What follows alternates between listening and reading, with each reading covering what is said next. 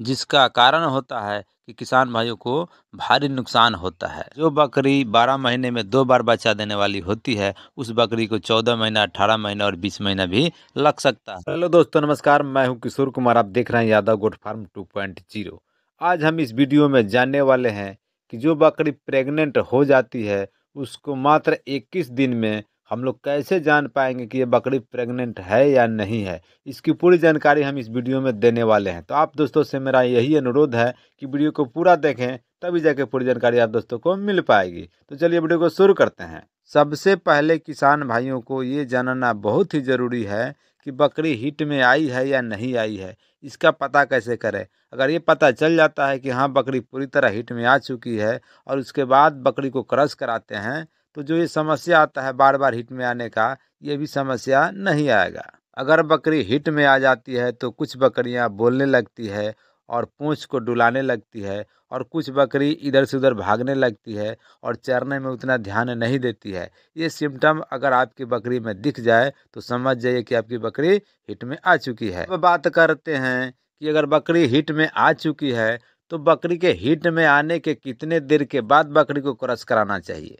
इस बात का अगर सही पता किसान भाइयों को हो तो जो बार बार समस्या आता है बकरी को हिट में आने का और जो किसान भाई बकरी को क्रश कराते हैं और परेशान होते हैं कि हमारी बकरी जो है बार बार हिट में आ रही है, ये समस्या आना भी बंद हो जाएगा। किसान भाइयों की जानकारी के लिए मैं बता दूँ कि बकरी अगर हिट में आ जाती है, उसके आठ या दस घंटा के बाद अगर बकरी को आप क्रश कराते हैं तो जो ये बार बार समस्या आता है हिट में आने का, वो समस्या बिल्कुल जड़ से ख़त्म हो जाएगा। तो हमें चाहिए कि जब भी बकरी हिट में आती है, उसके आठ या दस घंटा के बाद ही बकरी को क्रश कराएँ। अब बात करते हैं कि बकरी गाभिन हो जाती है, इक्कीस दिन में उसका हम कैसे पता लगाएँ कि बकरी गाभिन है या नहीं है?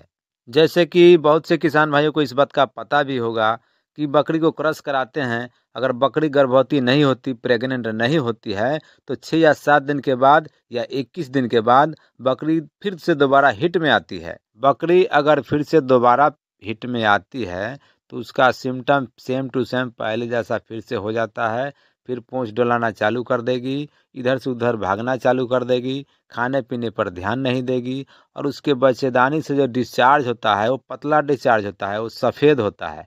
अगर आपकी बकरी गर्भवती नहीं हुई है तो पतला डिस्चार्ज करेगी, सफ़ेद कलर का डिस्चार्ज करेगी।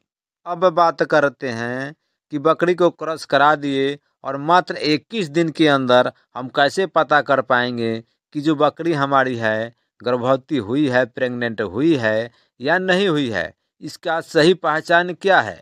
इस विषय पे बात करने से पहले मैं किसान भाइयों से, दोस्तों से छोटा सा रिक्वेस्ट करूँगा कि अगर वीडियो को देखते देखते आप यहाँ तक पहुँच ही गए हैं तो कम से कम वीडियो को लाइक कर लीजिएगा और वीडियो पर नए तो चैनल को सब्सक्राइब कर लीजिएगा। क्योंकि लाइक करने का सब्सक्राइब करने का ना ही कोई चार्ज लगता है और ना ही कोई पैसा लगता है। अगर एक लाइक आप करते हैं तो जो यूट्यूबर दो या चार घंटा एक वीडियो के पीछे मेहनत करता है, उसको प्रोत्साहन मिलता है और फिर से वीडियो बनाने का इच्छा जागृत होता है। अब बात करते हैं, जिस बकरी को हम क्रॉस कराए हैं, मात्र इक्कीस दिन के अंदर में हम कैसे पता कर पाएँ कि जो बकरी हमारी है, प्रेग्नेंट हुई है या नहीं हुई है, इसका सही सटीक पहचान क्या है? बकरी प्रेग्नेंट हुई है या नहीं हुई है, सटीक पहचान करने का तरीका कुछ इस प्रकार से है। जो आपकी बकरी है, क्रॉस कराने के 21 दिन के अंदर अगर गाढ़ा डिस्चार्ज कर रही है, जिस डिस्चार्ज का कलर पीला होगा और पीले कलर का डिस्चार्ज कर रही है और बिल्कुल गाढ़ा कर रही है जो उसके बच्चेदानी में चिपके रहता है, दो या तीन या चार घंटा तक चिपके रह जाएगा, इतना गाढ़ा रहता है, अगर इस तरीके से जो आपकी बकरी डिस्चार्ज कर रही है तो बिल्कुल समझ जाइए कि जो आपकी बकरी है प्रेग्नेंट हो चुकी है, अब कोई समस्या नहीं है, अब दोबारा हिट में नहीं आने वाली है और दोबारा हिट में आने का इंतज़ार बिल्कुल भी आप नहीं करें। ऐसा कि किसान भाइयों को स्क्रीन पर दिख रहा होगा, ये जो हमारी बकरी है मैं 20 या 21 दिन पहले इसको क्रॉस कराया था। अब ये गड्ढा डिस्चार्ज करना चालू कर दी है। अगर इस प्रकार से अगर आपकी भी बकरी क्रॉस कराने के बाद गड्ढा डिस्चार्ज करती है तो बिल्कुल समझ जाए कि जो आपकी बकरी है, प्रेग्नेंट हो चुकी है, कोई समस्या नहीं है। बहुत ही महत्वपूर्ण जानकारी मैं किसान भाइयों को देना चाहूँगा। जो किसान भाई बहुत से गलतियाँ करते हैं, बकरी को क्रस कराते हैं और बीस इक्कीस दिन या पच्चीस दिन के बाद जो बकरी फिर गड्ढा डिस्चार्ज करती है तो समझते हैं कि शायद हो सकता है जो हमारी बकरी है, प्रेग्नेंट नहीं हुई है और बकरी को फिर से ब्रीडर के पास छोड़ देते हैं। बकरी को ब्रीडर के पास छोड़ने का कारण होता है कि बकरी हिट में नहीं होती है, उसके बाद भी ब्रीडर क्रस कर देता है। इसका नतीजा यह निकलता है कि जो बकरी प्रेग्नेंट होती है वो भी बच्चा गिरा देती है। जिस समय बकरी क्रॉस होती है वो समय भी सही नहीं होता है, क्योंकि उस समय जो बकरी होती है, हिट में नहीं होती है।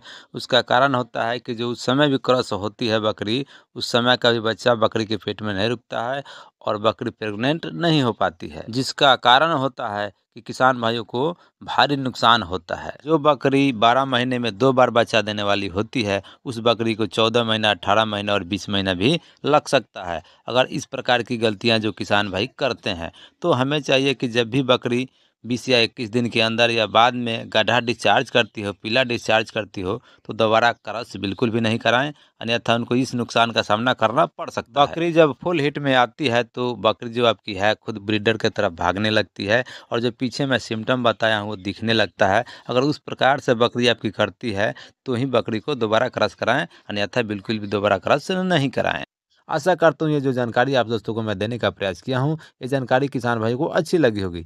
जानकारी अच्छी लगी हो तो वीडियो को लाइक कर लीजिएगा और वीडियो बनाए तो चैनल को सब्सक्राइब कर लीजिएगा, क्योंकि ऐसे ही इंटरेस्टिंग यूजफुल वीडियो हम हमेशा आप दोस्तों के लिए लाते रहते हैं। तो आज के लिए बस इतना ही, फिर मिलते हैं अगली वीडियो में, तब तक के लिए आप अपना ध्यान रखें। धन्यवाद मित्रों।